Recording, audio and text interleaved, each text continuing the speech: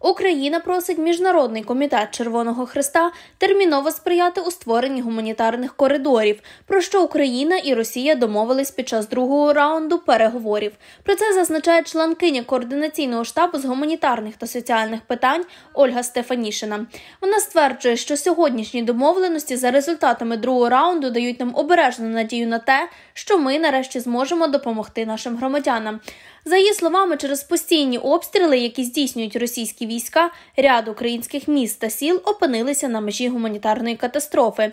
Наразі тисячі людей потребують термінової евакуації, бо в їхніх містах і селах не вистачає продуктів харчування, води, ліків, немає світла та водопостачання. Україна готова забезпечити вивіз людей і доставку гуманітарних вантажів.